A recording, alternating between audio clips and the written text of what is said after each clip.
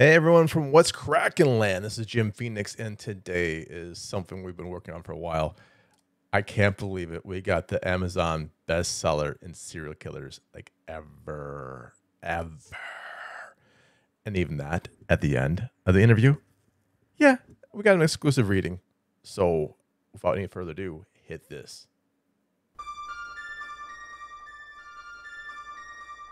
Hey everyone, Jim Phoenix here, and boy, am I excited for this next guest because I can say their name. I hope. Cross fingers. Who knows? Uh, Rhiannon D'Averc. Did I say it? Yes. Yes. Oh, it's half my battle right there. I am done. I'm gonna retire early today.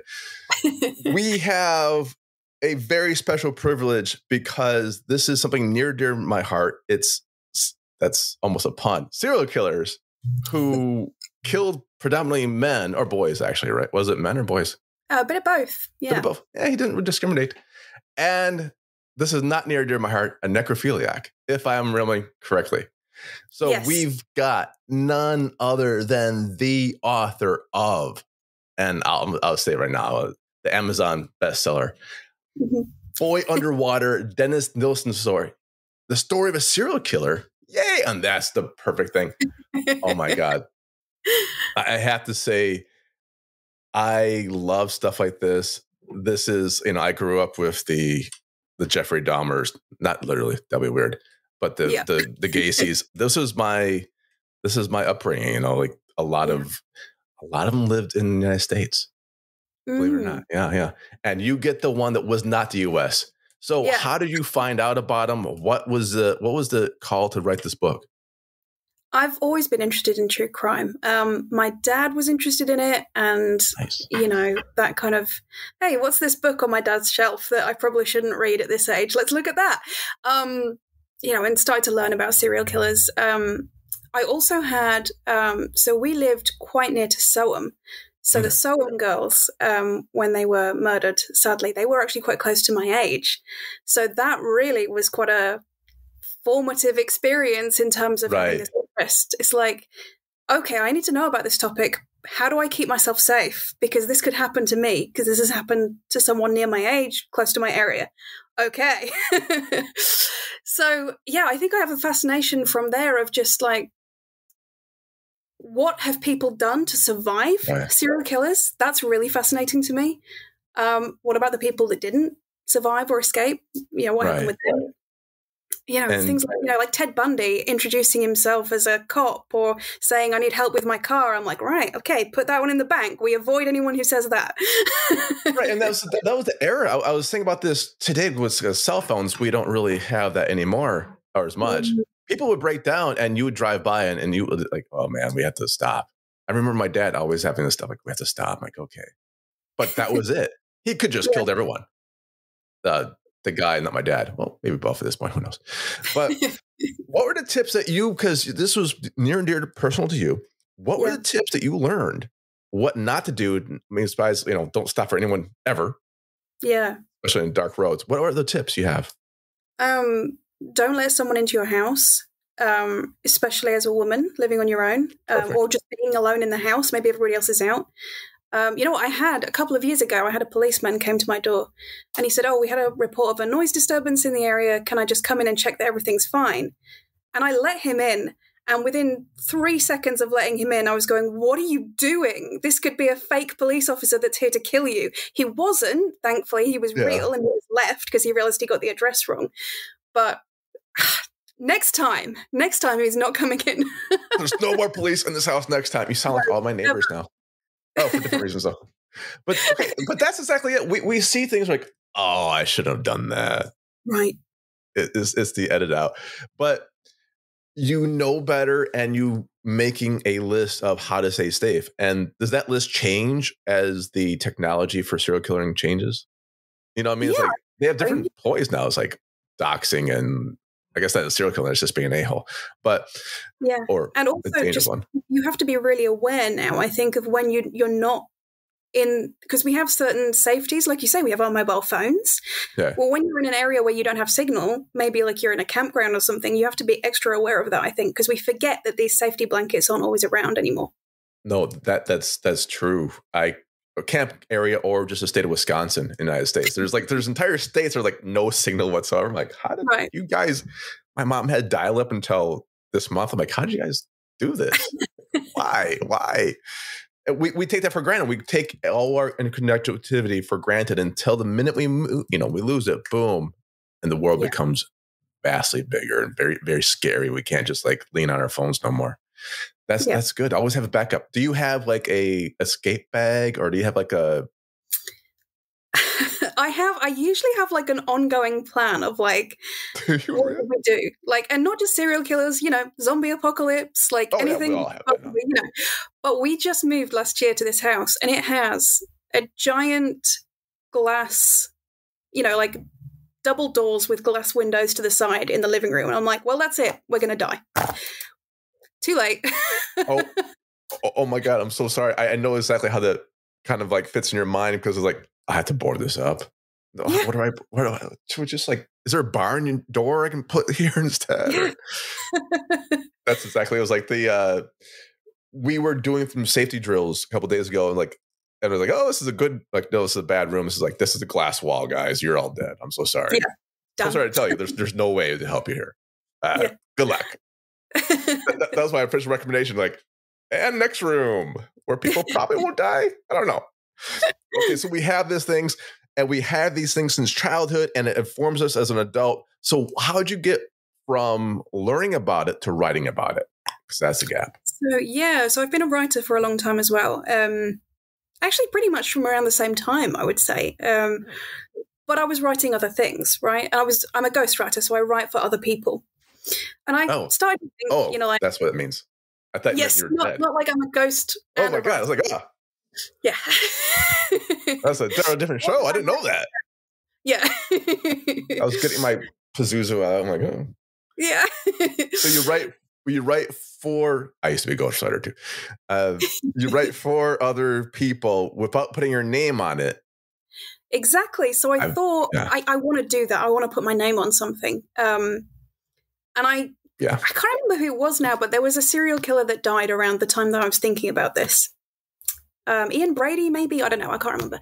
Um, and I went on Amazon that day and the top 10 best-selling books were all books about this guy that had just died and i thought hang on i think i see a publicity opportunity here okay who's still alive in prison let's get researching um turned out dennis Nilsen was at that time right no that's that's brilliant that's absolutely it. it's kind of like not quite right what you know because that would imply that you're the serial killer, but right what you're passionate about. I should, I think that's what it is. The more of it, and exactly. if what you're passionate about just happens to be also ranking, why not? Yeah, exactly. Yeah, perfect storm.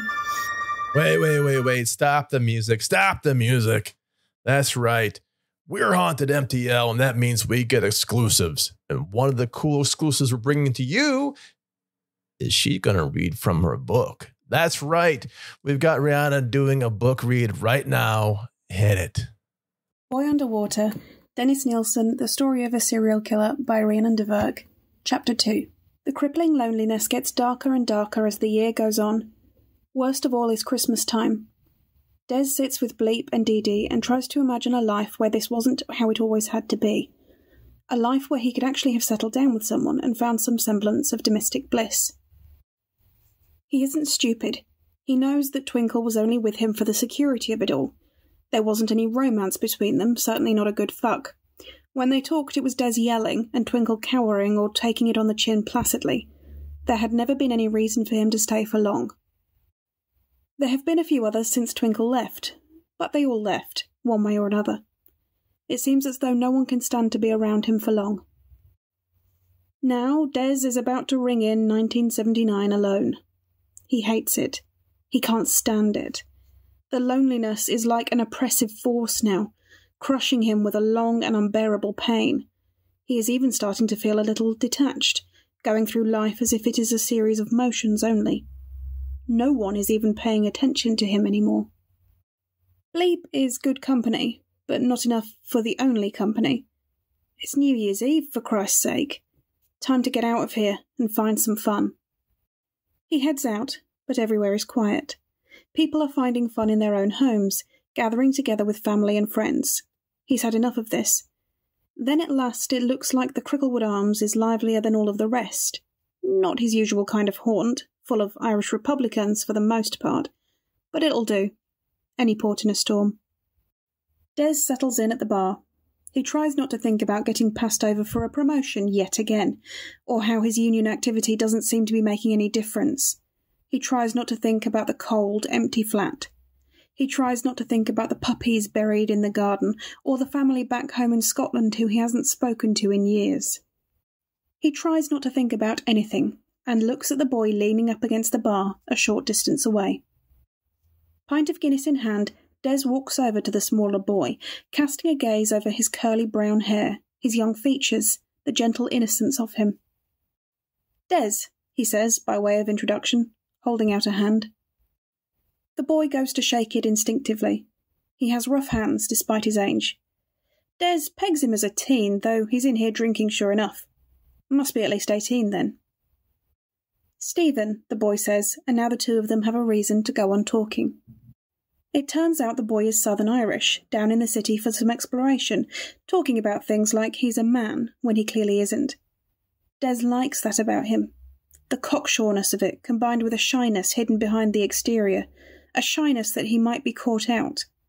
They knock back drink after drink at the bar together until it finally comes closing time. Closing time on New Year's. Not worth thinking about, going home alone. If he drank himself to death alone tonight, Des knows with a certainty. If he drank himself to death alone tonight, Des knows with a certainty no one would find his body until he was stinking and rotten and attracting flies. Probably only then because people in the other flats would complain of the smell.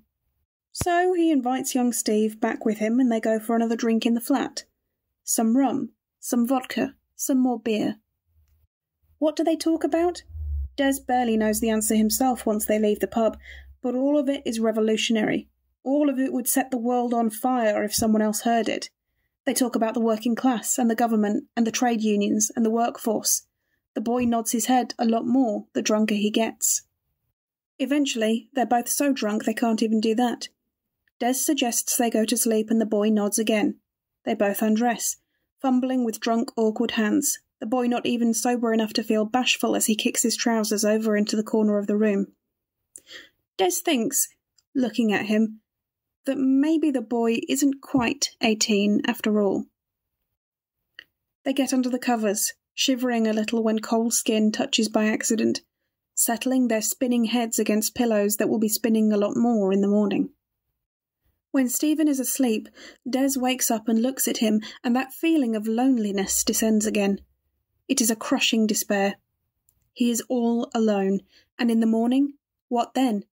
This boy will leave, probably at the first chance he gets. He'll just be another ship passing in the night, another mail floating away from him, no desire to stay. Suddenly, Des is desperate for him to stay. He is driven almost to tears by it. He wants it more than anything he can think of right then. He can't spend another night alone, not like this, not at New Year's. This is a time for fresh starts, not for sinking back into that same old black pit, alone again. If only there was a way to make him stay. He pulls the blanket down over both of them, around halfway, so he can admire Stephen's body and his own. The fire has been on all night, so the small flat is warm enough. Idly, he sits and traces shapes and lines over the skin of Stephen's back, admiring how smooth and unmarked it is. He stays that way for hours, basking in it, enjoying every part of Stephen that he can see. Then it is the morning. Stephen will be going soon. Des feels his heart pounding suddenly and arousal stirring. It brings a quick heat that makes him sweat, staring at this unconscious young body, feeling his own body respond. They didn't do anything last night. This body, though, it calls to him. He glances over at the floor and sees his tie lying there, pooled on top of his other clothes. He stares at it for a little while, sweating, nervous, feeling an excited energy which has never been so strong before. He reaches out and pulls the tie over. Stephen has to stay for the new year. He has to, whether he wants to or not. Des won't be alone again. He slips the tie over Stephen's neck, straddles him, and pulls it hard. Stephen wakes up almost immediately, confused, still half drunk and half asleep. What the? He gets out, but Des pulls tighter and cuts him off. Stephen struggles and they roll together, off the bed and onto the floor, but Des has the upper hand. Stephen uses his feet desperately to push, trying to move his body further away, but Des is like a dog with a rat now. He knows he only has to hang on the longest, nothing more. The coffee table goes over the glasses from last night, the ashtray goes, an almighty mess and clatter, and Stephen's head is up against the wall, and he has nowhere left to go. He struggles and struggles for a half minute more, getting weaker all the time. Finally, he goes limp, and Des figures it is done. He stands up and lets go of the tie. He can feel himself trembling, the exertion and the tension taking away his core. It's all he can do to get his breathing under control. But then he hears a noise, and realizes that Stephen is breathing again too.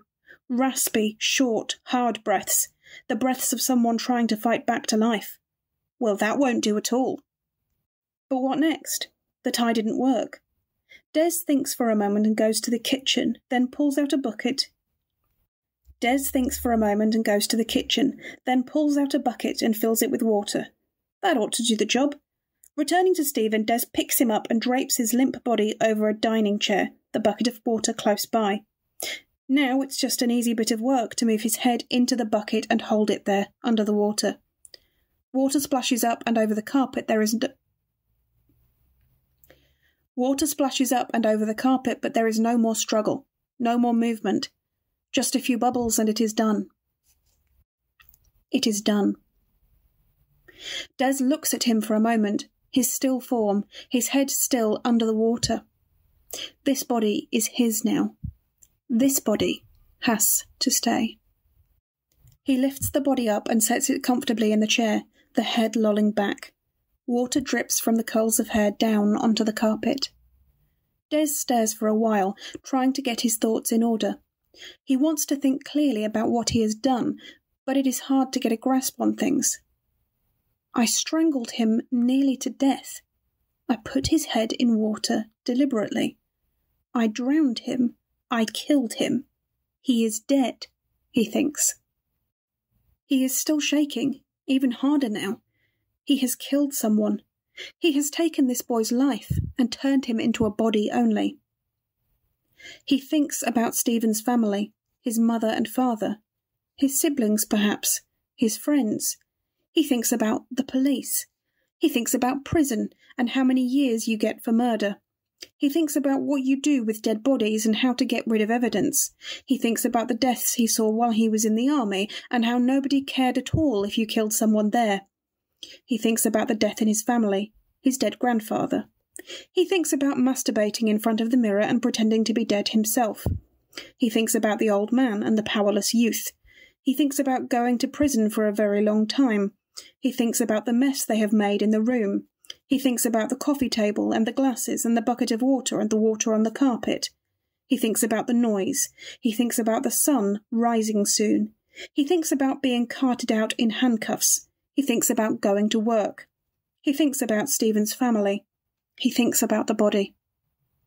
Finally, he gets up and does something. He makes a cup of coffee and drinks it, smokes a cigarette, then another he decides that he will continue to smoke until the shaking stops. He clears up the mess, the glasses, and the coffee table, working around the body of the dead youth. Bleep wanders in from the garden and starts to sniff around. He can't have that. Fuck off, Bleep, he says, grabbing her by the scruff of the neck and pushing her away from the body. She complies, head down, aware that she has displeased her master. Des takes the tie from the youth's neck and then sits down and looks at him. For a long time he does not move again. Even if someone had come in, he would not have flinched for a single moment. He is contemplating this body, staring at it, until he knows what to do. Something comes to him, and he goes to run a bath. With it nearly full, he stops the water and grabs a towel. The towel is for covering the window, which does not have curtains. He doesn't want anyone to be able to see. He kneels down in front of the body and gently pulls it forward, over his right shoulder until he is able to lift it. He grasps the thighs of the body to hold it in place and carries it into the bathroom. He slides it carefully into the water and washes it all over, with washing up liquid, as if completing a secret ritual. The body is limp and floppy and moves strangely, making it hard to keep it steady. When it is clean, he picks up the slippery body again, pulling him by the wrists after other techniques fail. He sits it on the seat of the lavatory and wipes it dry with a towel. Now it is perfect. Des carries the body over his shoulder, back into the main room, and lays it on the bed. Des carries the body over his shoulder, back into the main room, and lays it on the bed. He tidies himself up smoothing away the evidence of their struggle and of the messy bath, and then takes a closer look. The body has a slightly pinkish tinge to the face, the features are a little puffed up, and the lips are blue. The eyes and mouth are both partly open. Running his fingers over it, Des discovers that the body is still warm to the touch, as if alive. There is a wet mark on the pillow from the water left in the hair. Des pulls the covers up to his chin as if to tuck him in for the night, and sits down to stare at him again. He is waiting for the knock on the door, for the police to come. He sits and stares at the body, so that at least he will have a lasting memory to hold on to when they come and take him to prison.